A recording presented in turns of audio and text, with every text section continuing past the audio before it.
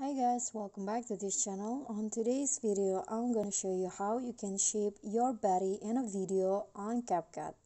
So in here, you can uh, edit your body, for example, to be slim or just reshape it. And here's how to do it. So first, just click on your clips that it that has been added to CapCut and then find the retouch options click on that and then click on the body here.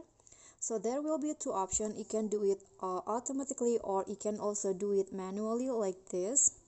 I'm going to just use the uh, auto first. So for example i want to make it slim. Just click on slim.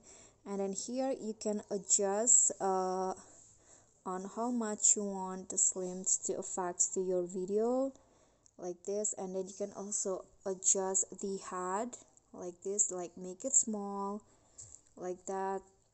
And if you want to do it do it manually just you can just go like this for example.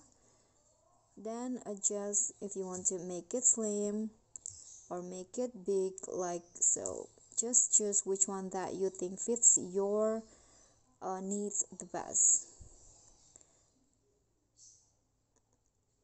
okay?